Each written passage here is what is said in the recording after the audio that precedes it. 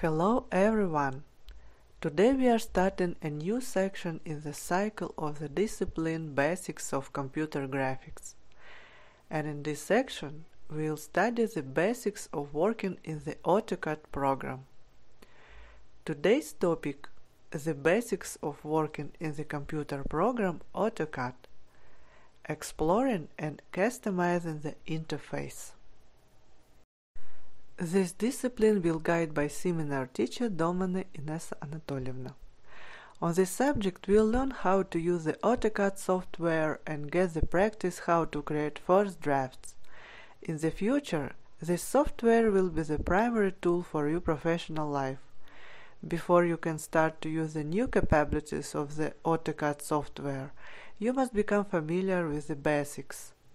So today aims is to explore the AutoCAD interface, we'll be introduced how to customize the working space of AutoCAD and how to work with command window. Starting AutoCAD. AutoCAD was released in 1982 by Autodesk, which was a small company at that time. It was designed to be used for PC only, since then AutoCAD has enjoyed the biggest user base in the world in the CAD business. Users can use AutoCAD for both 2D and 3D drafting and designing. AutoCAD can be used for architectural, structural, mechanical, electrical, environmental, and manufacturing drawings, and for road and highway designs. Though the focus these days is BIM, Building Information Modeling, AutoCAD is still the most profitable software for Autodesk due to its ease of use and comprehensiveness which address all users' needs. Another version of AutoCAD called AutoCAD LT is used only for 2D drafting. To start AutoCAD, double-click the shortcut on your desktop that was created in the installation process. AutoCAD will show the welcome window, which looks like the following. While you are in this part, you can start a new drawing, open an existing file, open a sheet set, download more templates, access it online, explore the sample file that come with the software, See the recent files you opened. Check if AutoCAD has a notification for you concerning your software hardware. Connect to Autodesk 360, Autodesk Cloud. Send your feedback to Autodesk. AutoCAD interface. The AutoCAD interface is based on ribbons and the application menu. The most important feature of this interface is that the size of the graphical area will be bigger. Application menu The application menu contains file-related commands. Included are commands such as creating a new file, opening an existing file, saving the current file, saving the current file under a new name and in a different folder exporting the current file to a different file format, printing and publishing the current file, etc. We will discuss almost all of those commands in different places in this course. By default you will see the recent files. You can choose how to display the recent files in the application menu. Using this control, like small icons, large icons, small images, large images. Also, you can choose how to sort the recent files using the control by ordered list, by access date, by size, or by type.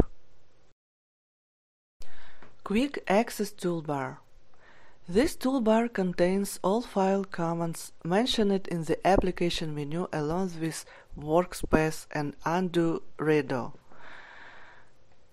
The users can customize this toolbar by clicking the arrow at the end, which will bring up the following. As you can see, the user can add or remove commands Clicking Show Menu Bar may also be useful because the ribbon doesn't include all AutoCAD commands.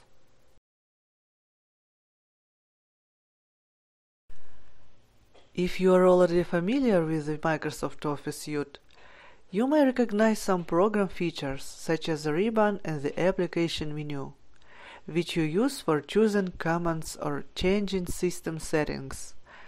But even if AutoCAD's new look does seem a little familiar in places, many aspects of the program's appearance and some of the ways in which you work with it are quite different from other Windows programs.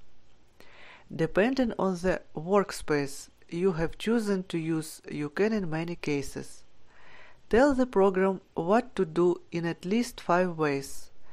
Pick a toolbar button, pick from a pull-down menu, pick a tool button from a ribbon panel, type at the keyboard or choose from a right-click menu, none of which is necessarily the best method to use for every task.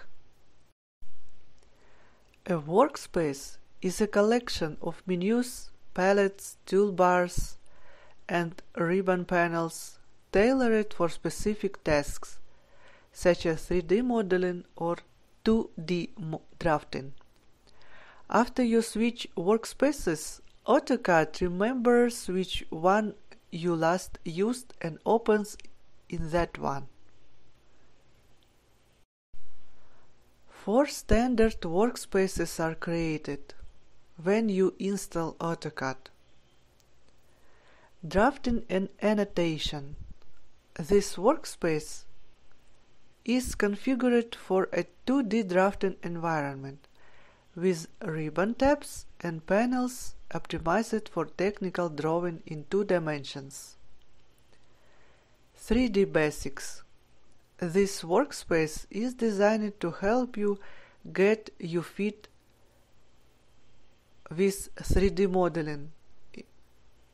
It leaves out the solid surface and Mesh Object Creation tabs and provides simplified panels in the other tabs.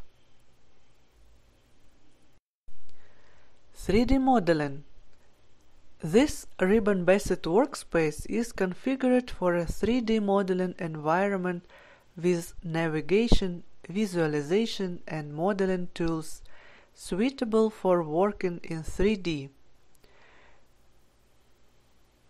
AutoCAD Classic This workspace is configured for a 2D drafting environment with toolbars and tool palette arrangement similar to those in AutoCAD till 2008 and earlier.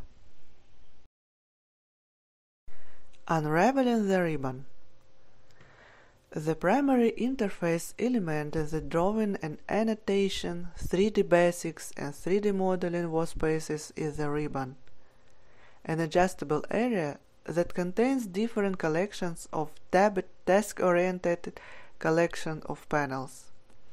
Some panels, thus marked with a little black triangle on the panel label, have more tools concealed on a slide out.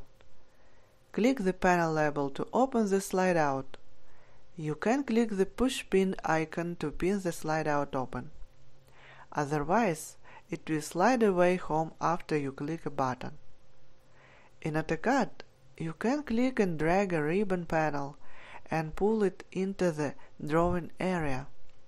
So if, for example, you find yourself doing a whack of dimensioning, but you also want to move away from the Annotate tab, to other ribbon tabs, you can drag the dimensions panel into the drawing and it will stay put even as you switch to other panels or tabs. Just be sure to put it back where it came from when you're finished with it. Autodesk's programmers see the ribbon as an alternative way of interacting with the program. Theoretically, the ribbon eliminates the need for menus and separate toolbars, although the change-averse may think otherwise.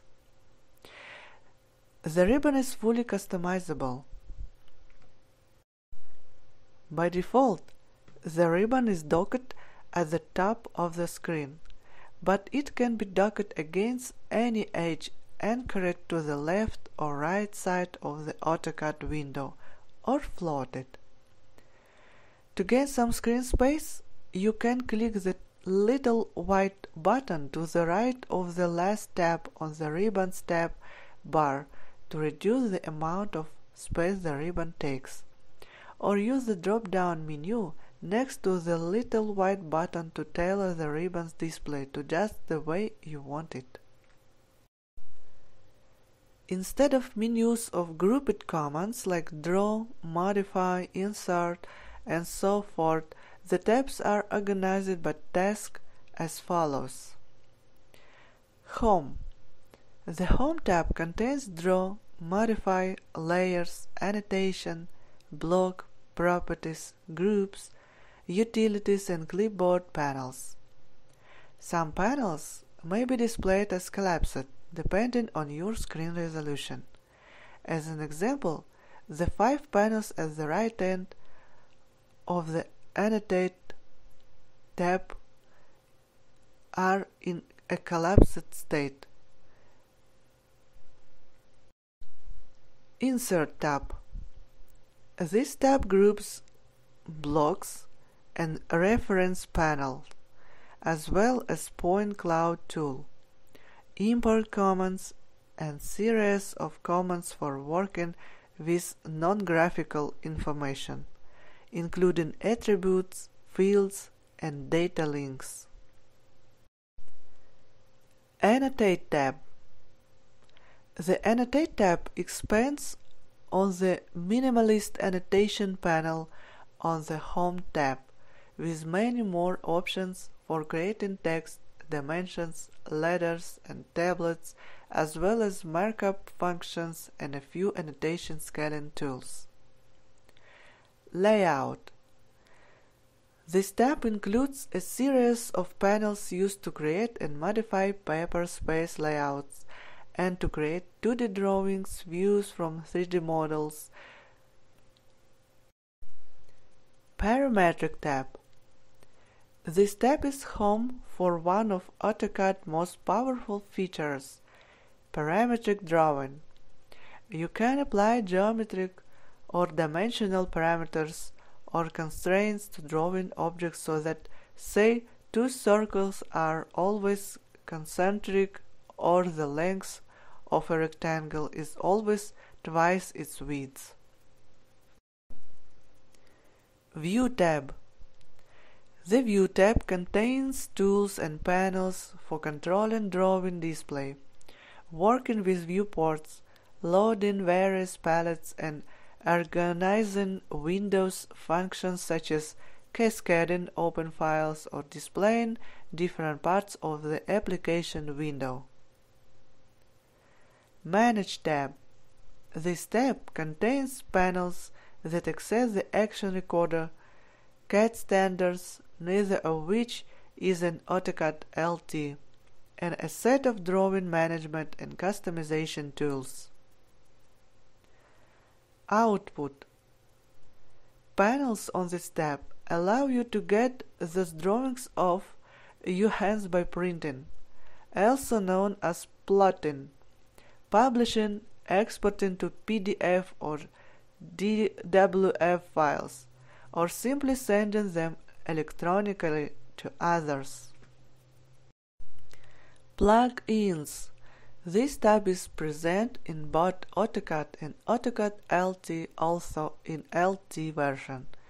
There is only one panel instead of two. Both versions have a Content panel with a single Explorer button that runs the new Content Explorer tool. After you let it index your file folders, Content Explorer can window through all your drawings looking for specific blocks, layers, layouts, and even text strings. AutoCAD itself also has an Inventor Fusion panel, from which you can edit solids and surfaces in a stripped down version of AutoCAD Inventor.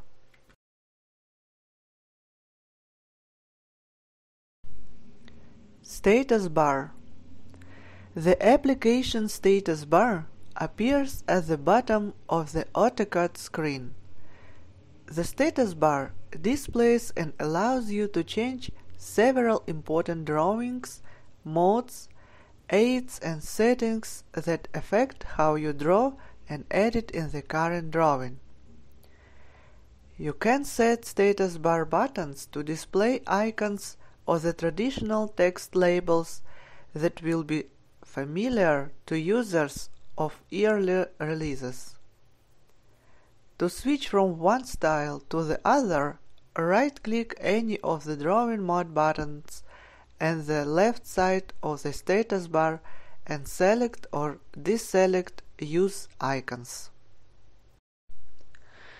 Some of the status bar settings won't make complete sense until you have used the AutoCAD commands that they influence. But here is a brief description with references to detailed description of how to use each settings, starting at the left end of the status bar. Coordinates of the crosshairs.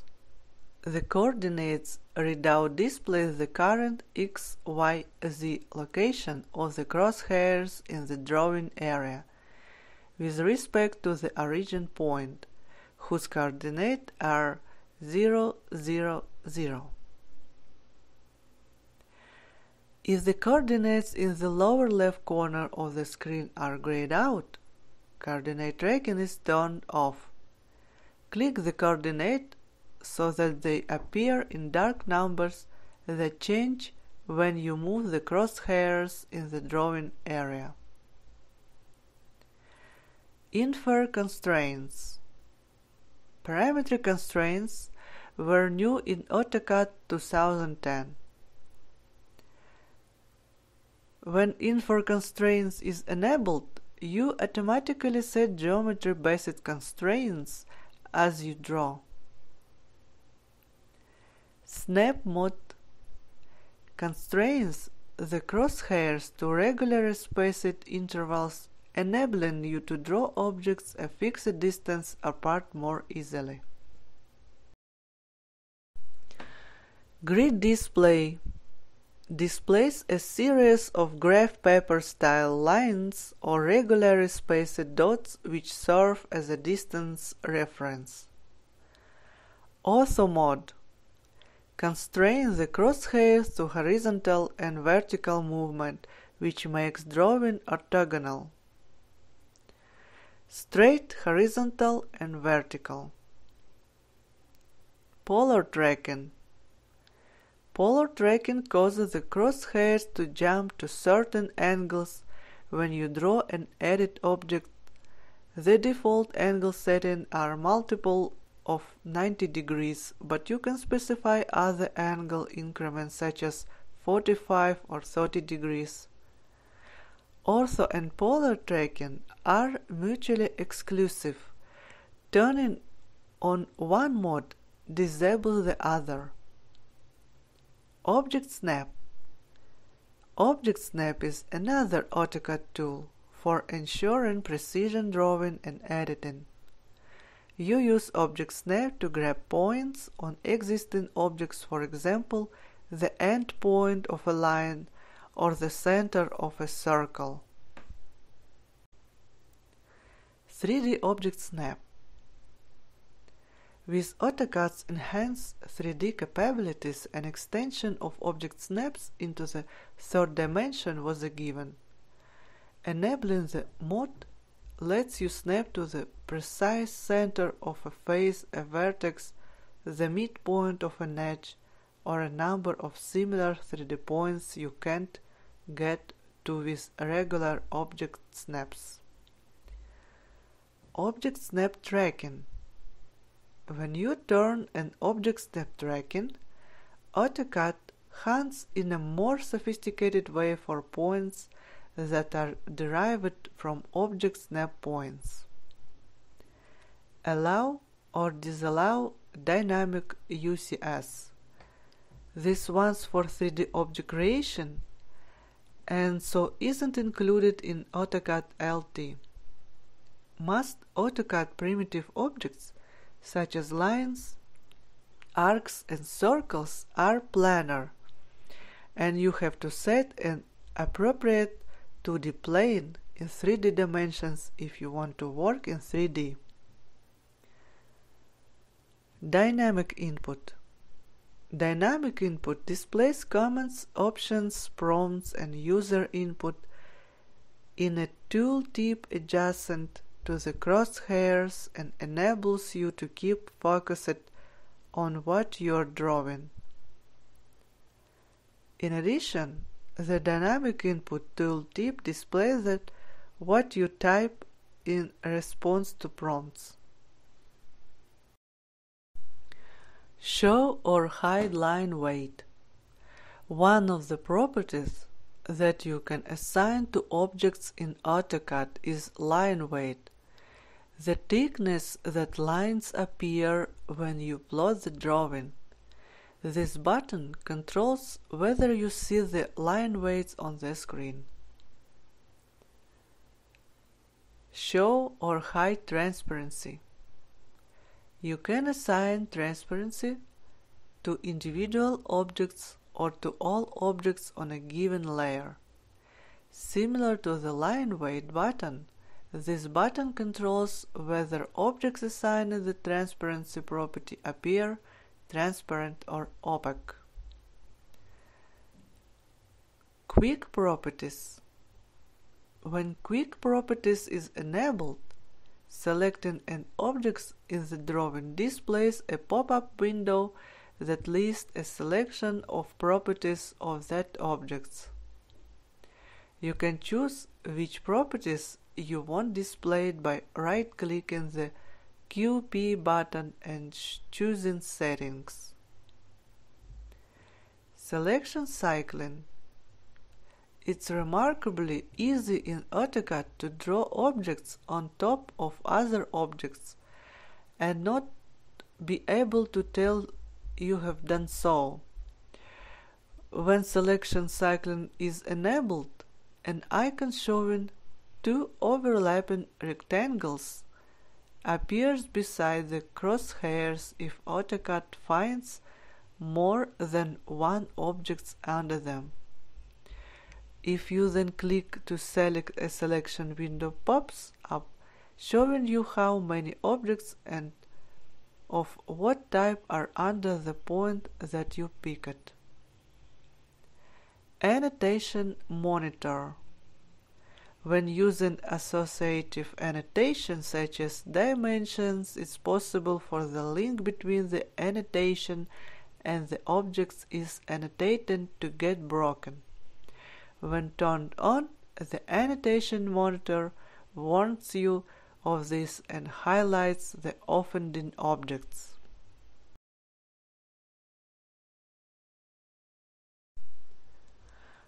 AutoCAD's drawing area is composed of two overlapping environments. Model space is where you create your model geometry, and paper space is where you compose your drawing sheet to document that geometry. Clicking this button when the model tab is active, that is your in full screen model space, switches you to a paper space layout. A completed layout includes viewports which reveal the objects in model space at a particular scale. After you switch to a paper space layout, clicking this button toggles between paper space and model space within the layout. The button label switches from model to paper to show you which space you are in. Model and Layout Those two buttons disappear if Model and Layout tabs are displayed. Clicking the model button switches you're out of the layout and back to full screen model space. If model and layout tabs are displayed, you click the model tab to switch to full screen model space. Clicking layout switches you to whichever paper space layout was active when you switch it to model space. Also note that the tooltip for the layout button displays the name of the layout, which might be changed from the default layout 1 or layout 2. Quick View Layouts Clicking this button displays a horizontal row of graphic images of all layouts in the current drawing. Click a layout image to make that layout current. The Quick View toolbar below the layout images contains buttons for pinning the Quick View Layouts bar so it stays open creating a new layout, publishing the selected layout and closing Quick View Layouts. Quick View Drawings Clicking this button displays a row of graphic images of all open drawings. Click a drawing image to make it active. Quick View Drawing includes the same Quick View toolbar as Quick View Layouts.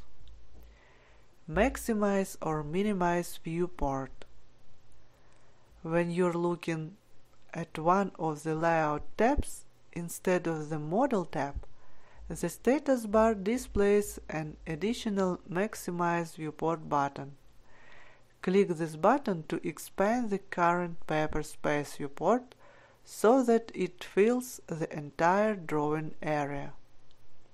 Click the button, now called Minimize Viewport, again to restore the viewport to its normal size. Command window. By default, the command window is floating but you can dock it at the bottom or the top of the screen. Reading the command window all the time will save lots of wasted time trying to figure out what AutoCAD wants. AutoCAD will show two things at the command window. Your commands and AutoCAD prompts asking you to perform a particular action. For example, specify a point, input and angle, etc. In AutoCAD, primary access to the display commands is via the navigation bar that appears by default at the right edge of the program window. AutoCAD also has a view cube that provides an alternative to the Orbit tool. One of AutoCAD's advantages over manual drawing is its ability to show you different views of your drawing. You can zoom in close, zoom out to a great distance and pan around. In fact, not only can you zoom and pan in your drawing, but in most kinds of drawing you must also do it frequently to be able to draw and edit effectively. Technical drawings are jam-packed with lines, text and dimensions. Zooming and panning frequently enables you to see the details better, draw more confidently because you can see what you are doing, and edit more quickly because object selection is easier when there aren't a zillion objects on the screen. Panning means changing your viewing position without changing the magnification of the view. If you zoom in enough that some of your drawing no longer shows up on screen, you're going to want to pan around, move left, right, up and down in your drawing without zooming in and out. AutoCAD makes panning easy with scroll bars and real-time panning. Real-time panning It simply means you can see the object moving around the screen as you drag the mouse up and down or back and forth. Here our introduction with AutoCAD will finish and on next seminar we'll learn how to create our first drafts. See you later.